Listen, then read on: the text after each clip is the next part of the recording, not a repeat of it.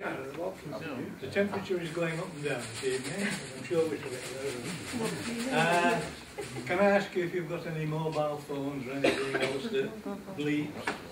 Makes funny noises if you're not turning them off. Uh, um, well, no need for me to introduce you. Linda Hutton is going to talk to us about the warmer So I'll leave it to you, Linda. Oh, that was quick. You can introduce yourself. I thought you'd me to say something. Let's get. Good evening, ladies and gentlemen. This is the first time I've spoken in this room, so let's just make sure that you can hear me at the back. Yep. Yes? Yep. Good. See you. Not seeing you, I can hear you. Take your jacket off, they won't blend in. We have a young gentleman at the back that's filming me. Um, I'm just going to forget he's there. So the rest of you will just be the backs of your heads, so you don't need to worry about it. I've got my notes here, and I will be referring to them this evening, which is not the way I normally do a talk, because generally I've got it all up here, but this one is a little bit more complicated, and I've got a lot of quotes and pieces out of newspapers that I've written down so that I need to read them out to you. So you have to forgive me if I keep swooping down on my notes and reading out of it. Hopefully you'll be able to see everything that I'm talking about up on the screen and uh, you'll be able to read along with me, maybe. Right, I introduced myself as, uh, as I was kindly introduced. I'm Linda Hutton. I've been investigating my own family history for over 20 years. I have two degrees in history from the Open University, and I'm two sounds a bit greedy, but I couldn't afford a master's degree, so I did another ordinary one. Um, I have been researching these memorials for the last year. I was asked by Brian if I could think of a topic for a talk, and as he wanted to book me for November, uh, something to do with World War One seemed appropriate. And then it just sort of mushroomed from there, and I'll explain more about that later. Um, I did think that what I would do would be just to look at a few memorials in Barnsley and show you some pretty pictures and talk about them. And then, as I spent week after week after week in Barnsley Archives, which is just down the corridor, I'm sure you all know that, it became apparent that there was another angle that I could take on this talk. And it's all to do with the little differences of opinion, the little stories, the little why did things happen in a certain way that occurred in Barnsley nearly 100 years ago, just after the First World War. So this talk is about what I found in Barnsley Archives, and I warn you, it scratches the surface.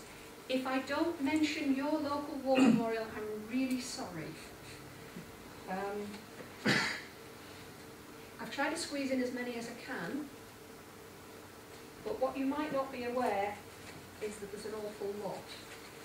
Um, people on that row don't say anything. you don't say anything. And I just told this gentleman here, how many war memorials do you think there might be in Barnsley? Go on. In Barnsley or the outlying area? From Thurgoland to Thurnscoe. 20. 20, 50, 100. 35. Would it surprise you to know there's over 450?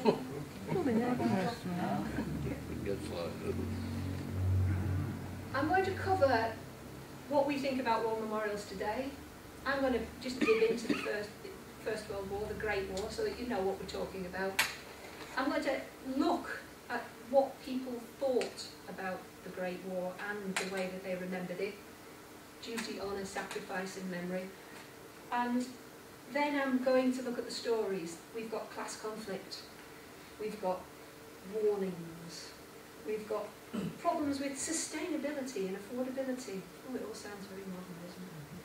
And then at the very end, I'm going to look at what it means to us today, what our memorials are for. You'll all be familiar with this memorial. You may even have walked past it this evening. What a lot of people don't realise is that there are no names on this war memorial. It was erected in 1925 and the sculptor of the figure of the man on top was a John Tweed. He was very well known. He also did a memorial uh, for Clive of India and he did the Captain Cook Memorial in Whitby as well. Very well known. Um, one of the most recent war memorials we've got in Barnsley is this one, which was put up a couple of months ago in the Barnsley Pal Centenary Garden. Now, it was erected uh, glass panels in the flower beds, and it's not actually meant to be read. I did have an email from a gentleman that said, it's the worst informational panel I've ever seen. Um, but a quote from the designer, she said, it's designed to encourage quiet contemplation. The pieces contain images from the time of the war displayed in layers to form an abstract effect. So it's very pretty, and you're not meant to read it. But you can if you sort of. Yeah. But that's one of our most recent war memorials, and I'll touch upon a few more as I go through. War memorials today. Why are they in the news? Well, obviously it's the centenary. We all know that. We've had a lot of that this weekend. Um, but also Afghanistan, Iraq, the losses that we've suffered in those conflicts. I think that we do understand more now how our ancestors felt a hundred years ago. I can remember being in Sheffield 30 years ago, walking down Fargate one morning, and all of a sudden everybody around me just stopped. And I had no idea what was going on, because I was young and ignorant. And gentlemen took their hats off and put their hands on their hearts. And ladies bowed their heads. And everybody was very quiet, and all of a sudden, I twigged. It was the morning of the 11th of November, and the hooter had gone off, which I'd not really noticed because it that a lot in Sheffield, and they'd all gone quiet and respectful for the two-minute silence.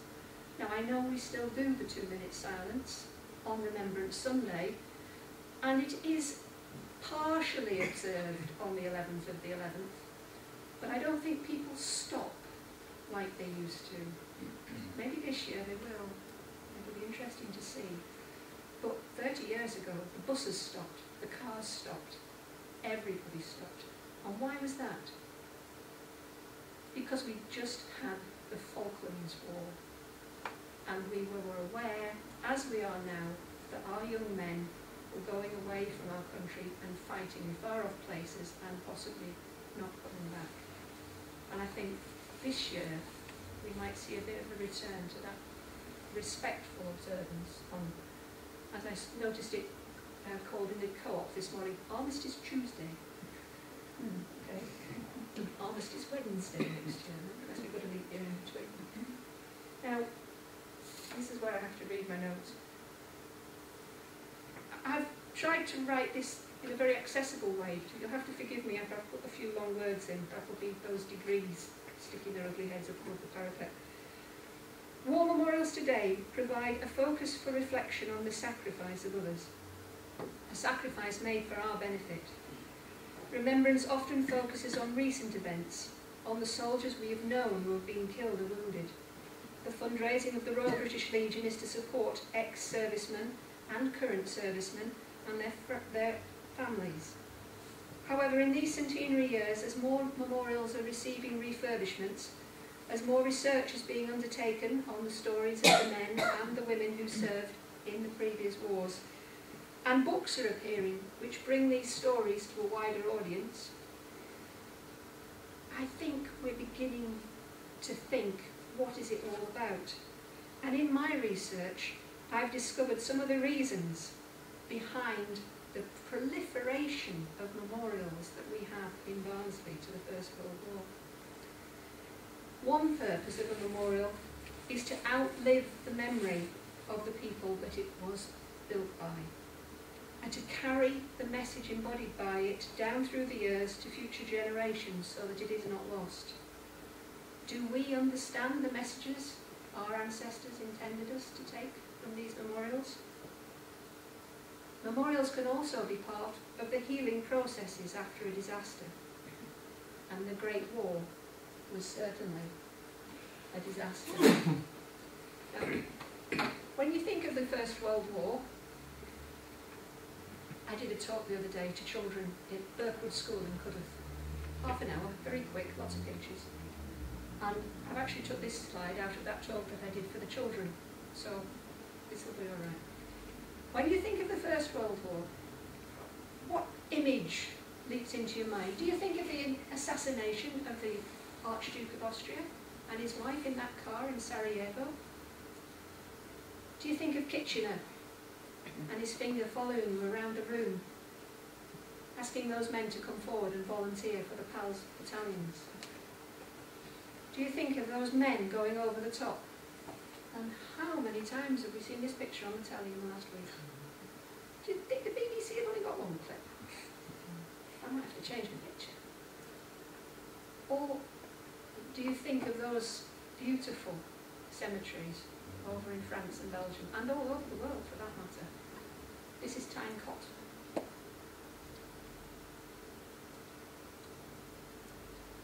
Or this year, do you think about those poppies in the moat at the Tower of London? One for every one of the casualties. My husband's been desperate to take me down there and look at them, but um, it's a long way to London, just to look at some poppies. I'll make do with looking at them on the telly. A few statistics. I was surprised at these actually. I had to double check this morning. I was, did I get that right when I was proofreading?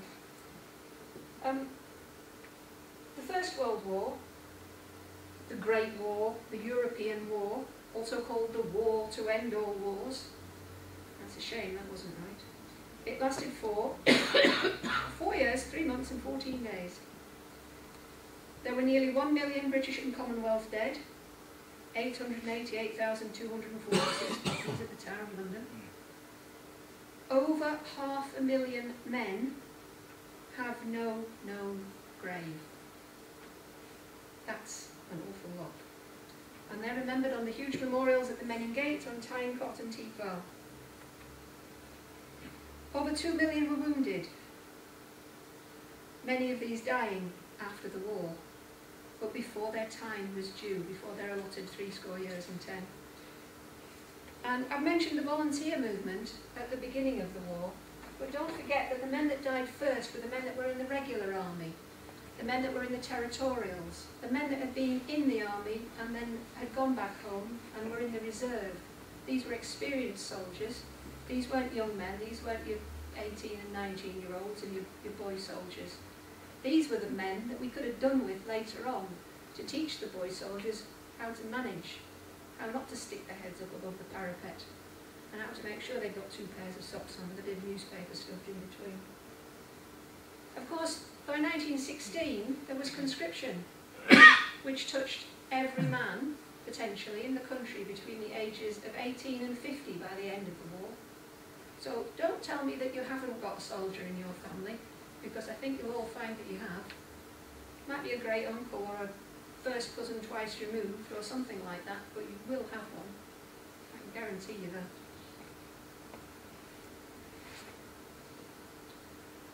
During the war, there was already a movement to recognise the sacrifice made by the men that went across to France, Belgium, to Gallipoli, to Africa, to Mesopotamia, to all the other places that our men went to. Um, this is a plaque at uh, Wentworth Castle, Stainborough, and it commemorates, as it happened, the men who, from the staff there, had signed up to Kitchener's army.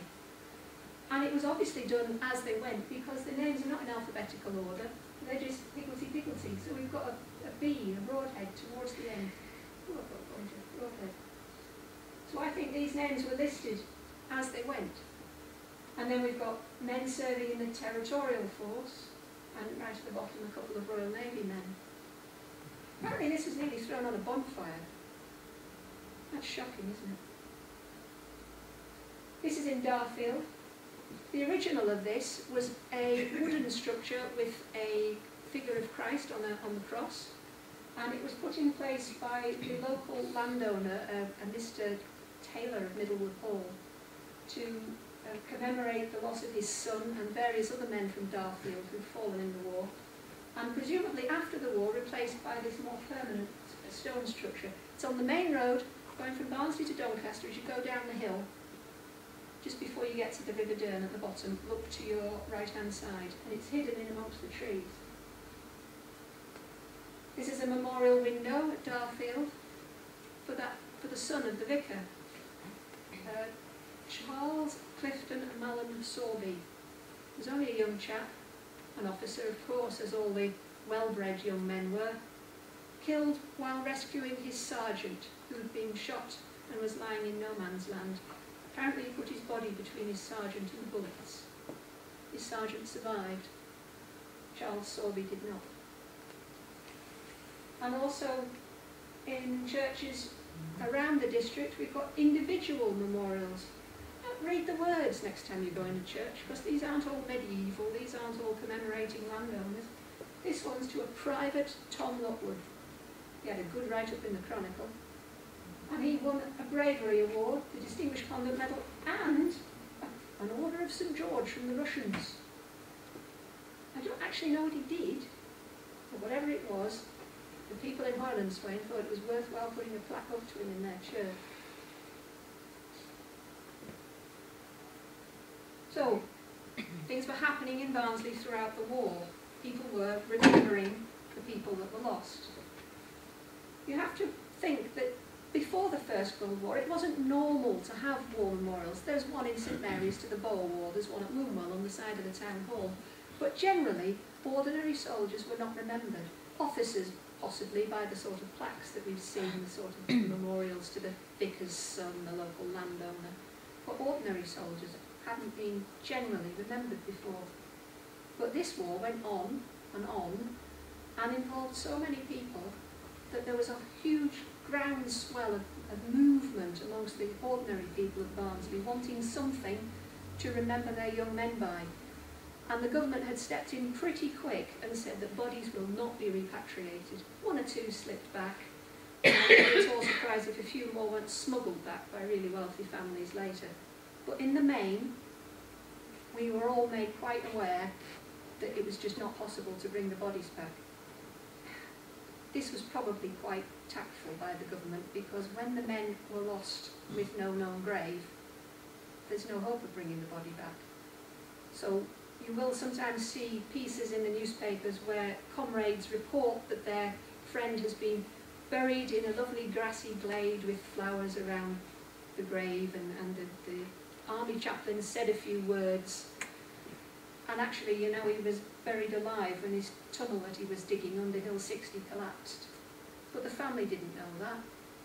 Certainly didn't know it until a lot later and they would been happier knowing, thinking that he's got a grave. Some, some men did have a grave and then of course the battle moved across it. The Germans took over that bit of land or we advanced away from it and maybe an artillery shell landed slap bang on it and then there wasn't a grave anymore. So what we needed was something at home for people to go to, to think about their lost boys, their sons, their brothers. I found newspaper cuttings dating back as far as September 1916 from Cudworth. Um, the townspeople wanted a memorial and the local council said, after a friendly discussion, the council unanimously agreed to raise no objection to the proposed memorial but in all probability a public memorial scheme will emanate from the council at a later date. So, yes, you nice people in Cudworth, you can have your memorial, but we'll have a better one because we're council. In Dodworth, just looking to see if the Dodworthy people are here this evening. I think they are. Um, in Dodworth there were two schemes. There was the council scheme and there was the Dodworth Bottom Gardeners Society scheme, which was a lot of miners who were raising money to have another memorial. And to start with, they were all both raising money side by side or in competition with each other, whisk drives, pie and peas, beetle drives, all sorts of things. And eventually they did decide to club together.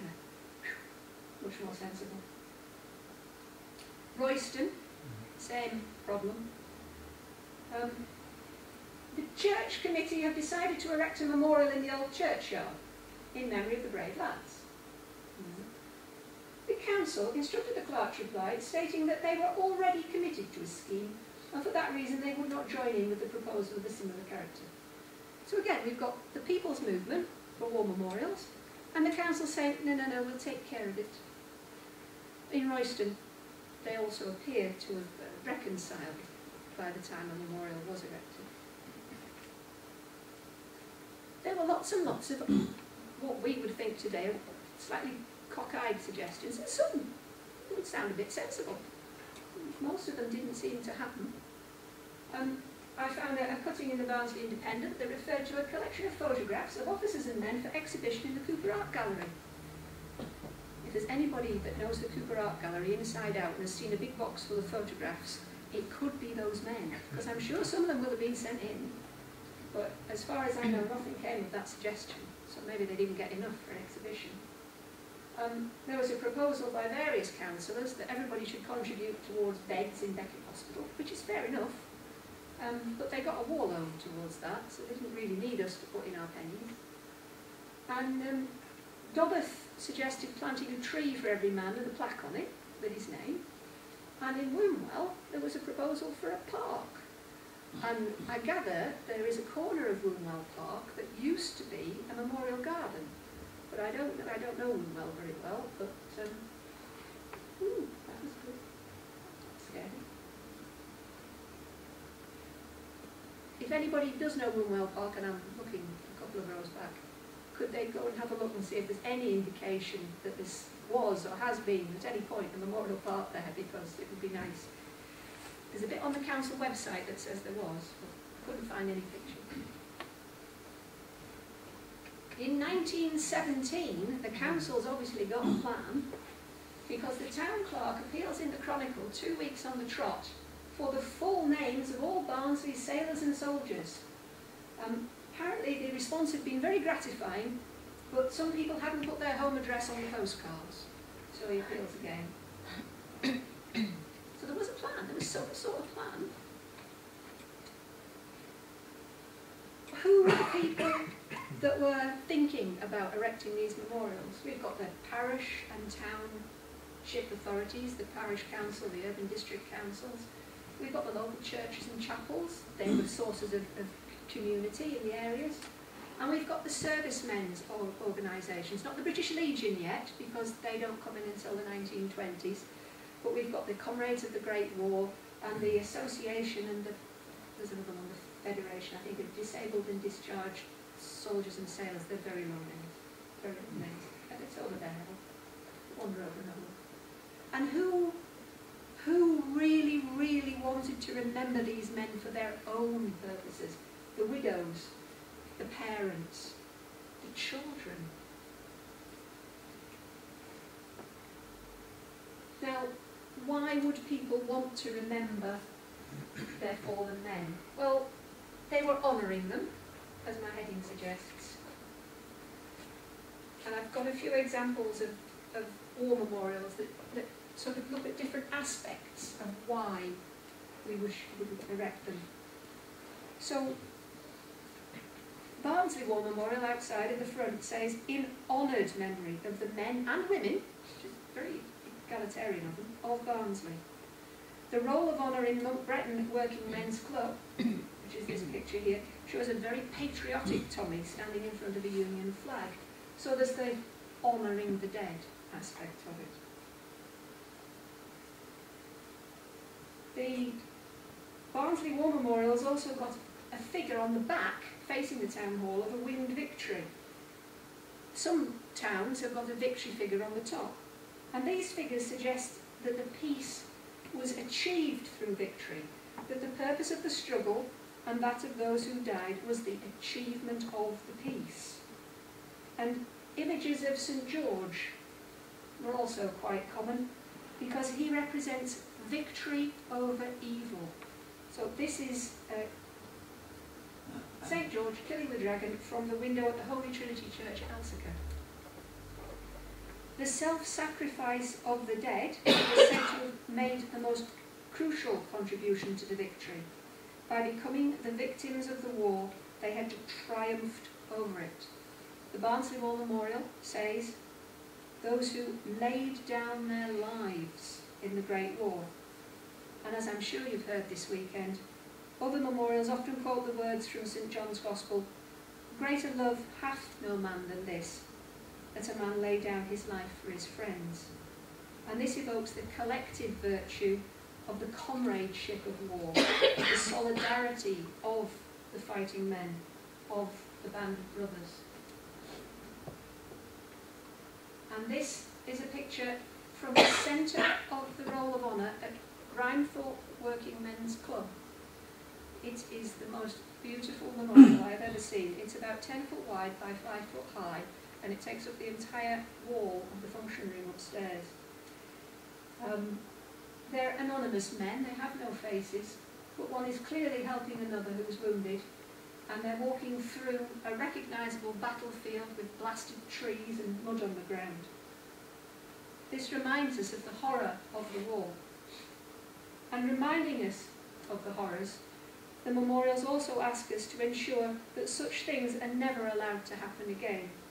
And Barnsley War Memorial states, and we in faith keep that peace for which they paid.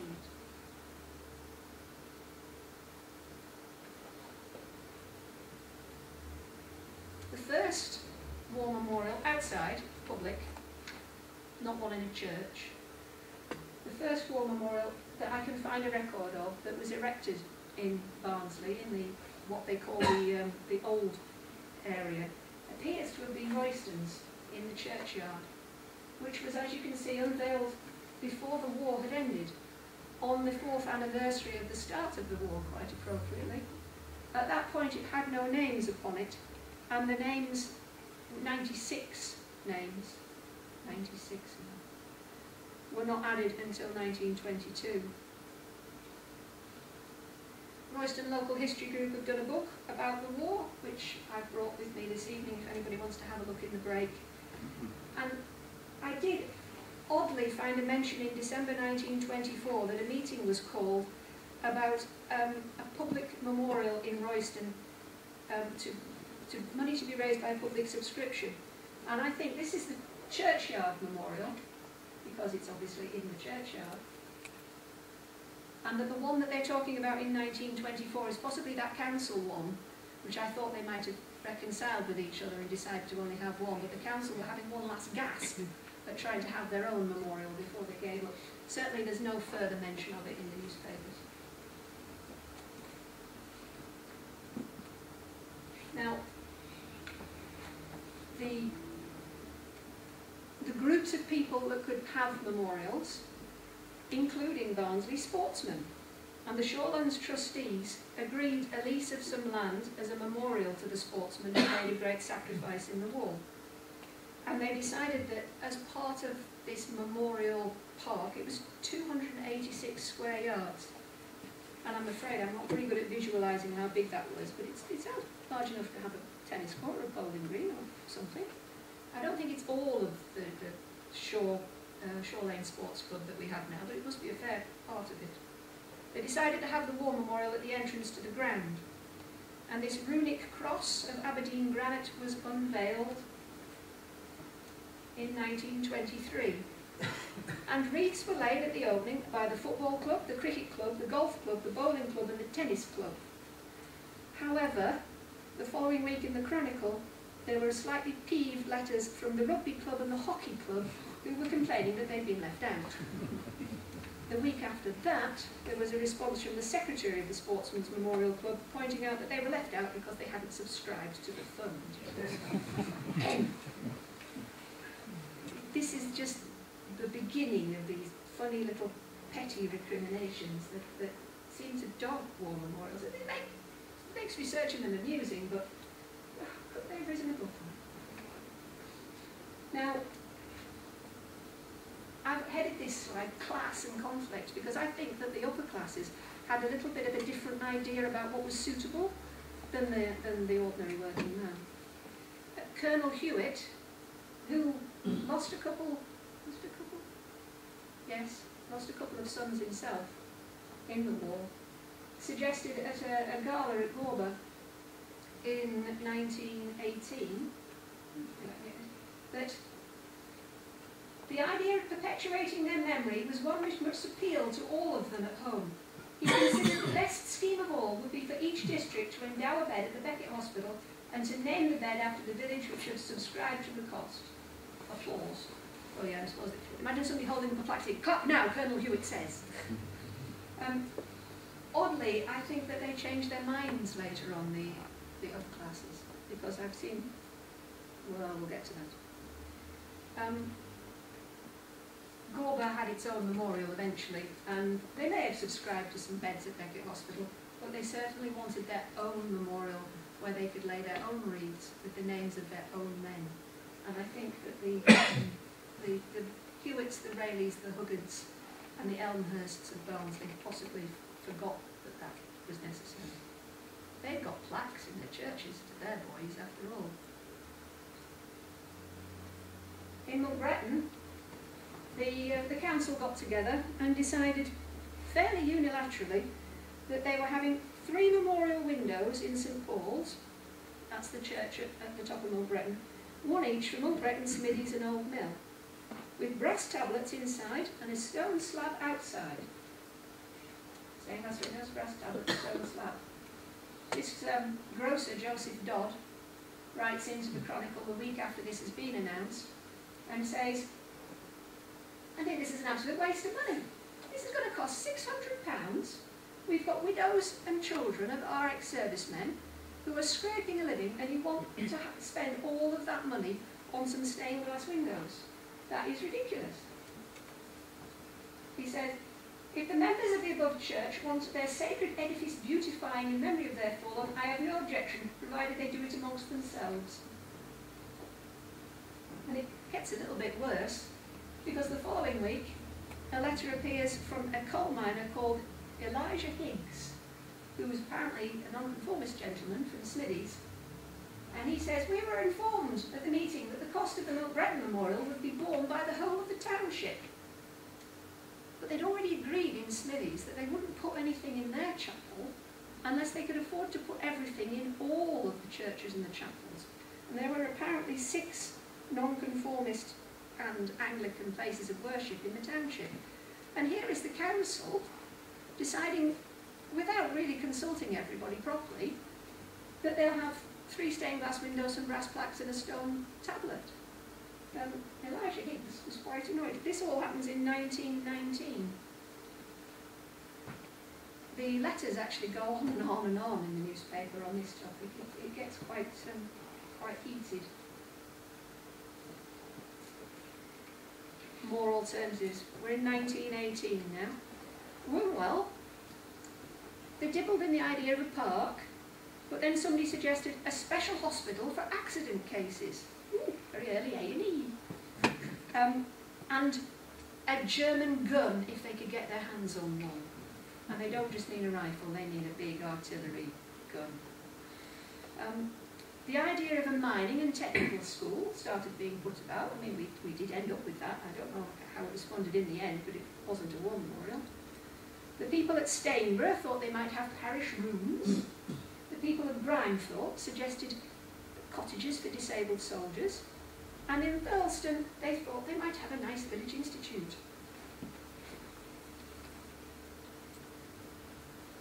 In Barnsley town centre, they were coming around to the idea, we're in, we're in 1919 now, that they might have a memorial. And they sent messages out to all of the little townships and said, we want you to subscribe. And Wombwell said, Barnsley got all the praise for raising the PALS battalions. We should not let them have the war memorial as well. Monk Bretton said, Barnsley were trying to make something for themselves with the help of the ta out townships.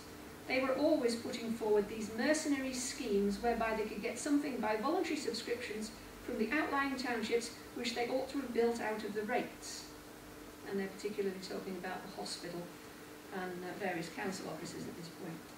And Ardsley just chipped in with, if Barnsley wants a memorial, they can do so, and the other districts will do the same. Donath, didn't have room for it on the slide.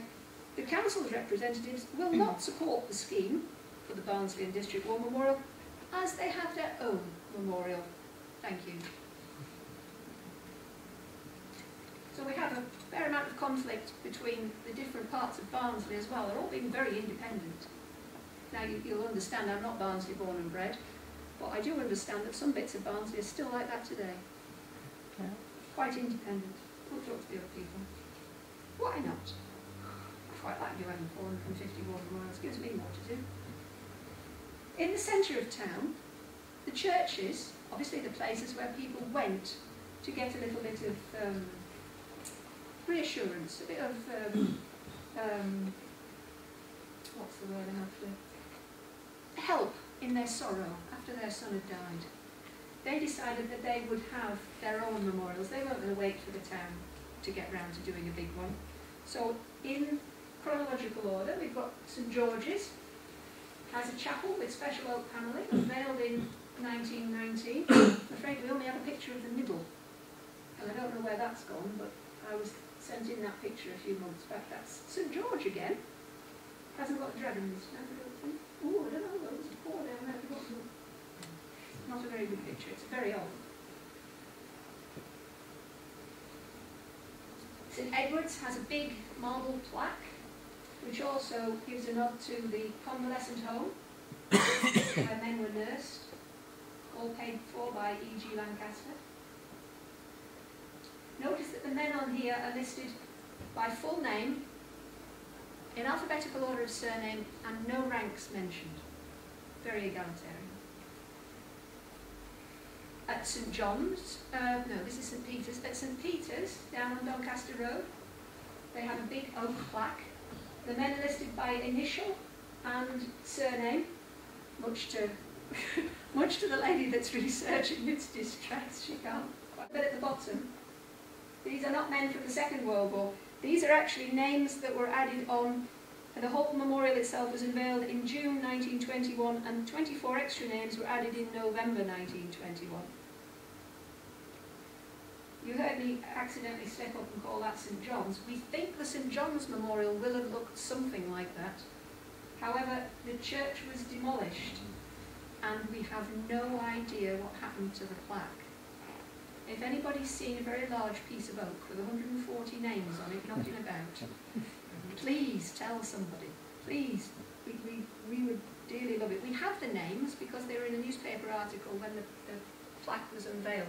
But we'd, we'd love to have the plaque as well. Where was St John's? Um, where the old people's houses are on on Joseph Street, near, near the Buckley Street flats, that area. And finally, St Mary's Church in town have this very elaborate gothic pink thing, um, which was unveiled in 1922. The names are in the little panels there, which are not that little because that's a chair, the scale. So imagine that's about what, how tall's a chair? Three or four, three foot high. Those panels are about three foot high. And they're very, very difficult to photograph apparently, according to my colleague that's photographed. Now, oh no, the answer, no. In Hoyland Swaine, you didn't see that. In Hoyland Swaine, they were very, very democratic. They had several suggestions for what they should have for a memorial. So this wasn't like the other councils, like Monk Bretton, saying what they were going to have without any discussion. They actually sent out ballot papers to everybody in the village. 400 ballot papers, 235 were returned, and the result was for monument with tablet, 178, for a clock on the church, 35, and for a tablet to be placed in the church, 23. They didn't get a monument with tablet, but they got a nice monument. Um, and that was unveiled in 1921, the site having been given by the landowner, and a procession headed by the Thurlstone Brass Band formed at the parish church and marched to the site, where united choirs of the village, relatives of the men, and ex-soldiers and a military contingent from Pontefract all paid their respects. Evening services were held at both the parish church and the United Methodist Church. That's Hoyland Swaine sounds like a nice place to live. There was a similar scheme at Stainborough, where they also had a vote on what they would have. So we have villages and townships having public meetings, we have them discussing what form should, their memorial should take, they're working out how will it be paid for, whisk drives, beetle drives, and door-to-door subscriptions, out of the rates, who would look after it? A lot of these memorials ended up being given to the local council to maintain. Were the proposals made value for money? Do we really need a memorial? Do we really need a new parish ruse? Do we need a clock? Or were some of the proposals a waste of money in the current economic climate?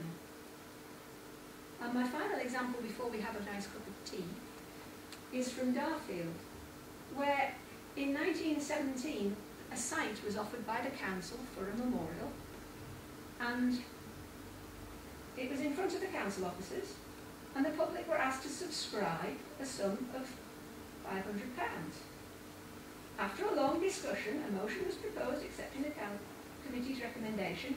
This was opposed by the majority present, many of whom were comrades of the war. Comrades of the War should have capital letters because it was the name of one of the forerunner societies to the British Legion. So the council said, you're having a memorial, it's going to be in front of the council offices and you lot are going to raise £500. And the local ex-servicemen and the local public say, no we're not. We're going to have a committee room, we're going to have a club, we're going to have something that's useful. And the whole thing got farmed out to a committee made up of ordinary people. Unfortunately, if you remember your history, you know what happened in the 1920s. Um, trade got bad, there was a bit of a depression, jobs were lost, and by 1920 they were going back to the council and asking for the council to support them out of the rate money because they, they'd actually only raised about £68, which is a place the size of Darfield, I'm a bit surprised. And in 1920 a piece appears in the newspaper in one of the council meetings because it's all got so heated that they're saying, oh, we're discussing a retreat for the, the aged, a nice place where people can sit and quietly contemplate. We're not discussing a playground, it doesn't have to be huge, it doesn't have to have all mud ponds. And the whole thing actually got shelved for quite a long time.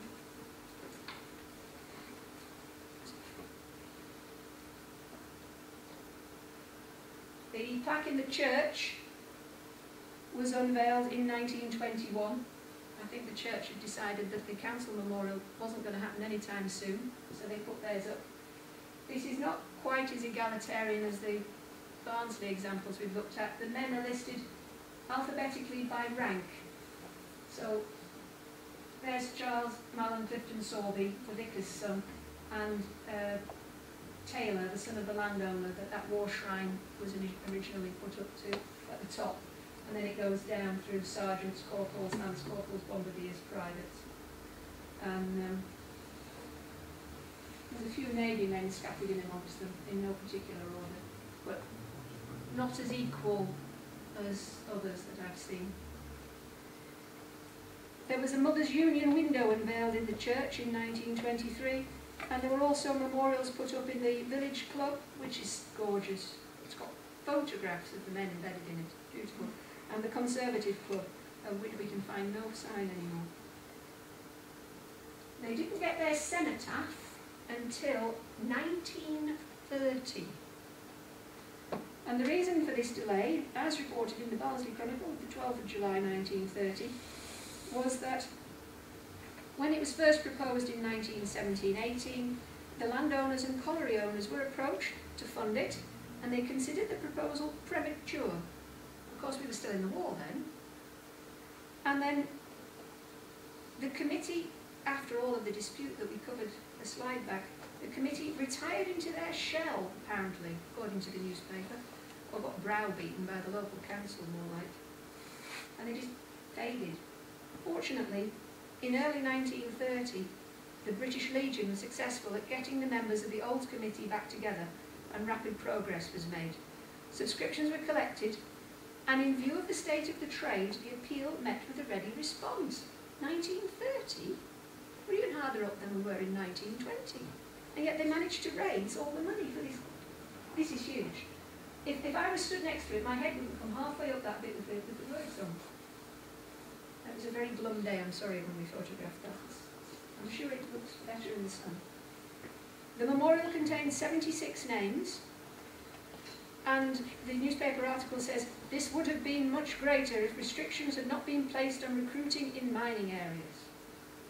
Of course, by the time they had conscription, they were also recognising that you can't send all your miners and your, your factory workers to war because we need them here. So men were badged and starred and occupations reserved. Unveiled by Major Riddle, one of these upper class people that had a title from the First World War but didn't actually go anywhere near the war, who suggested it would be a good thing for Great Britain if every town and village had a permanent memorial reminding this generation and generations yet to come of the sacrifice of those resting under foreign soil. Major Riddle had himself visited the trim graves and well-kept cemeteries in France and reassured the relatives that their boys were being well cared for.